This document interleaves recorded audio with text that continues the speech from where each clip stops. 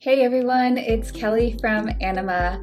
In this video, I'm going to show you guys how to use Anima's entrance animations to create fun micro animations in your Adobe XD project. So let's go ahead and head over to XD.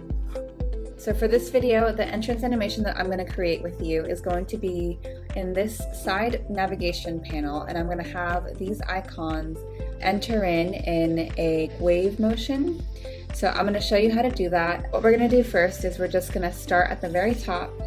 We select the first icon and head over to the Anima plugin. I'm going to go to entrance animation and I want it to move right. So come in from the left. Um, there's also other entrance animations you can use, but for this example, I'm going to use the move right. And as you can see, I have the option to add some settings to it. So what I want to do is I want the delay to be, um, let's say 0.2, and I want the duration for all these to be 0.5.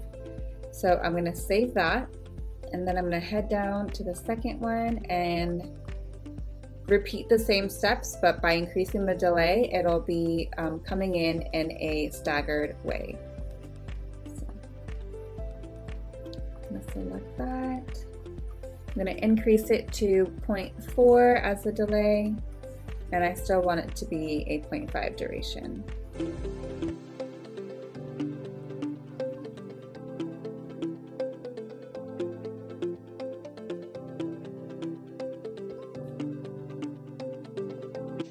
Then finally, the last one will be at a delay of one second and still 0.5 for the duration.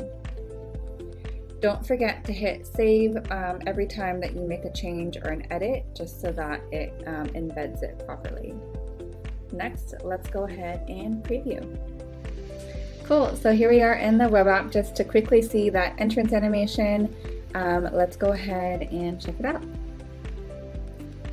Awesome. It's really subtle, but it really makes a difference when designing. And with Anima's entrance animations, you can create fun little animations like this throughout your design.